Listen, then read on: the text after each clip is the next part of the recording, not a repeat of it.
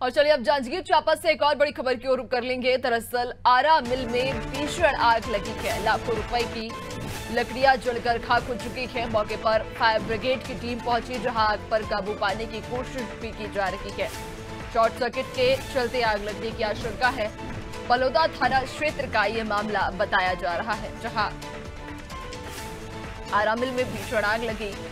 आपको बता दें कि इस आगजनी में लाखों रुपए की जो लकड़ियाँ हैं, वो जलकर पूरी तरह से खाक हो चुकी है। मौके पर फायर ब्रिगेड की टीम भी हालाँकि पहुँची है और आग पर काबू पाने की कोशिश जारी है।